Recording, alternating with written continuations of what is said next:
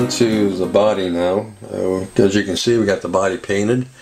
We did switch brands of paint. I wasn't happy with the Folkart bronze. Thought it was too orange. So I went with the Anita bronze, which is uh, much more on the brown side. And I like that uh, a ton better than the Folkart bronze. Uh, no real issue spraying it on there. Uh, it was all easy peasy. Uh, we almost lost this body. I thought I was going to have to buy another one because I almost uh, ruined it. Uh, I took it outside to clear it, and uh, it was a beautiful spring day. Uh, this is being cleared with the Minwax polyacrylic. We'll talk about this here in a minute. But I put about two or three coats on it and thought, well, you know, it's a beautiful day out here. I'm going to leave it out here, let it dry. And uh, come back out in a minute or two and bring it in the house when my wife came home from work, we started ratchet jawing. I forgot all about the body being out there in the sun. So it was probably out there for about five minutes. so when I went to get it, uh, yeah, it was. I thought I was going to have to get another body. Uh, it was actually starting to melt. Uh, the, the sides were starting to splay out. Uh, this center uh, post was deformed, and um, I'm like, ah, oh, crap. So I took it in the house, uh, used a hair dryer, and carefully worked with the body. Um, got the center post uh, much more straighter than what it was. Still a little, got a little bit of a wave in it, but it's uh, I can live with it. It's pretty straight. Uh, got the sides tucked back in. Um, we got the hood to fit again because the hood, being the body, was kind of distorted. The hood no longer fit, so we got the hood to fit. I heated up inside the fenders to get it out a little bit uh, and finally got the hood to fit in there uh, like it did. The only thing uh, I didn't do was I need actually to raise this cowl up a little bit but I can't because if I put too much heat on this cowl then this starts to deform this center post so I'm just going to leave it the way it is um, I'll just have to live with it uh, but um, yeah. um, it, it's hell getting old. Uh, I should have remembered it was out there. I just forgot all about it. But uh, we were able to save it for the most part, so it'll be all good. Uh, on the polyacrylic, um, you know, I use this on my base for the bat plane, and it came out really nice. So I wanted to try it on a car body. I don't think I've ever used this on a car body. Uh, this is meant for wood. It's meant for sealing in stained wood to give it a nice uh, finish, hard finish. And it does give whatever you spray this stuff with a really crystal hard finish, you know. And uh, if you want to know more about this, folks, I'm not going to go into it. Uh, go over to Top Revision 1 Mike's channel. About a year ago, he did uh, a test video using polyacrylic. He used a spray can and a quart can because you can get it either in a quart can or spray and he did uh, tests with it uh, on different paints and different uh, surfaces and stuff. So you go over to his channel and Mike will answer probably most of your questions that you have just by watching his video. But there is a couple of things I want to mention real quick though, and one of them is if you're going to use this stuff, you want to make sure that the spray nozzle is always clean and clear because when you're spraying this stuff, this poly uh, polyacrylic will dry on the nozzle and it'll plug it and it'll also give you a funky spray pattern. So after each spraying, make sure you clear off this nozzle. Make sure it's good and clean and there's no uh, uh, polyacrylic dried on it. That'll screw up your spray uh, pattern. And uh, it'll gum up enough to where it won't even work. So uh, make sure that the nozzle is always clear. And then, uh, you know, it comes out heavy. So you have to be careful with that. Uh, you have to do it pretty quick. You don't want to spend too much time on one area because this stuff, as I said, is heavy. It comes out thick, and uh, you'll get a whole bunch on there real quick before you know it.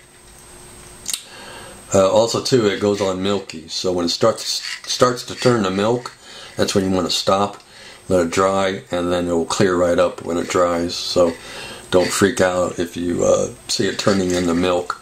Uh, that's the property of this uh, polyacrylic. And then anything else you want to know, just go over to Mike's channel, Top Revision 1, and take a look at his video. Uh, you'll see it on his channel. So uh, before I put the body on this, I'll probably uh, hit it with some, um, um, what the hell's it called? Novus. Couldn't think of the name of it. I'll probably hit it with some Novus polish, Novus 2 and then Novus 1 to kind of uh, smooth it out a little bit.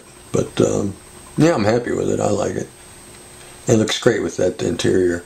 I had the body on it real quick just to make sure uh, there was no issue since I distorted it and uh, there's no issues with it. So uh, we'll, we'll, be good as far as it to getting uh, getting the body on the frame. We're still in good shape. So okay, let's talk about the rolling chassis we got completed. Um, don't want to spend too much time on this because we'll end up with an hour long video. We've got everything on it. We got the engine in, we got the wheels on, we got the uh, on the uh, frame, uh, drive shaft in, shocks on, everything painted underneath. All I do is go back and fill this hole. I forgot to fill it in. It's the hole for the stock exhaust. Uh, we're using side exhaust or side exit uh, exhaust, so um, I need to fill that hole in. Um, two issues I want to talk about real quick. One, again, is this rear axle. It's too narrow for the car. I don't know why they made this uh, axle housing so narrow. Um, in order to get these wheels to be the same as the front as far as the track of the wheels, you're going to have to use a quarter inch spacer. Um, the hub is about 3 eighths in diameter. Luckily I have 3 eighths tubing so I cut a quarter inch off of the uh, tubing, made me a spacer, glued it on the hub, then glued the wheel onto the spacer. Um, if you don't do that, you're going to end up with a silly looking car in my book because your front wheels will be way out here and then your rear wheels are going to be way inside uh, right by the uh, uh springs here and it just looks uh, it looks stupid. Simple as that in my book. Um, you know the car's track should be somewhat equal between the front and rear and um, you know that's uh, the fact that I had to move them out a quarter of an inch tells you how narrow that rear axle housing is but uh, we've got all that straightened out and we're looking good there the tie rod I think this is the tie rod uh, you're going to have to thin it down because if you don't thin that tie rod down when you go to put the engine in and won't let the engine sit all the way down you can't glue the motor mounts to the frame. So you're going to have to thin these tie rods uh, down. Uh, I just took my X-Acto blade, went in there, and kind of whittled away at them uh, until I got the engine to sit down where it should. Uh, the engine, uh, we, we black washed it and brought out all that uh, wonderful detail. It's, it's a fantastic straight six. Moebius did a super job on the engine in my book. It looks great. Uh, not so much on the rear end, but rear end, but the engine looks great. Um, so uh, that's the story on that. We're, we're all ready to uh, boogie down and have some fun. We've sanded the side of the rails down to get us back down to bare plastic. So when we glue it to the resin body, uh, well, I got most of the paint off, but we'll have a nice uh, gluing uh, surface to uh, uh, get the uh, sides of the body to stick to the frame. Um, we've got the rear seat in, front seat in, got the crab handles on, got the carpeting painted. the carpeting is two colors, Army Painter Brown and um, Burnt Umber. I kind of stippled the burnt umber over the Army Painter Leather Brown to give the carpeting a, a kind of a speckled look. Uh, my mom's carpeting in her car was like that. It was a black and gray carpeting, kind of speckled nylon loop kind of thing. It was uh, very rugged carpeting. Looked pretty good too.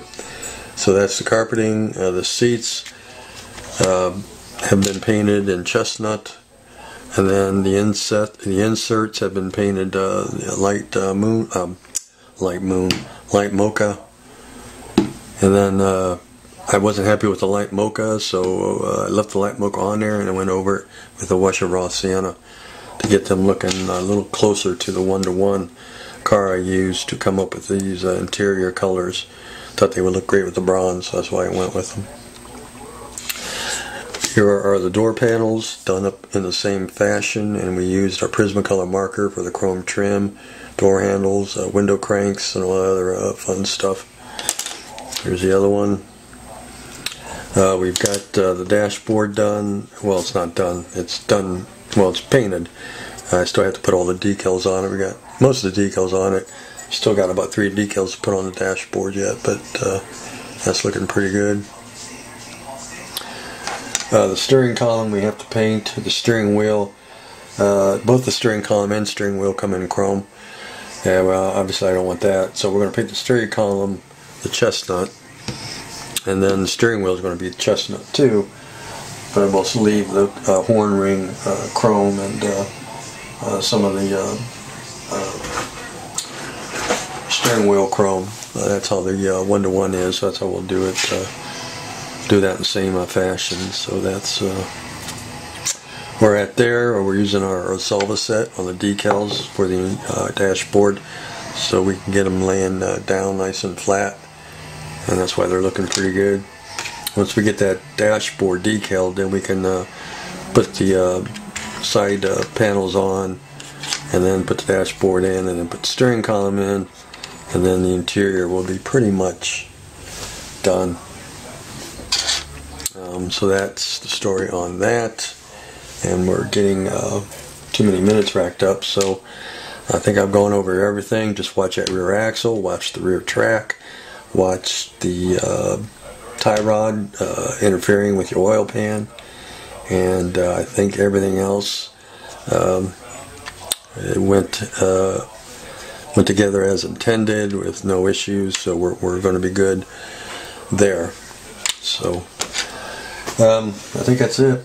Uh, we got a, another video coming up. My brother, uh, again, uh, went auctioning and brought home a whole bunch of cool model kits. Well, actually, he bought uh, bought one auction lot, and this auction lot had a lot of cool model kits in it. So uh, we're going to be doing a video on that uh, this weekend.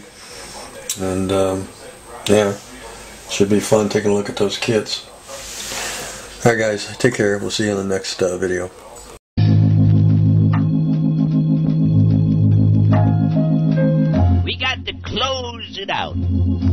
For the Wolfman Jack Show for tonight.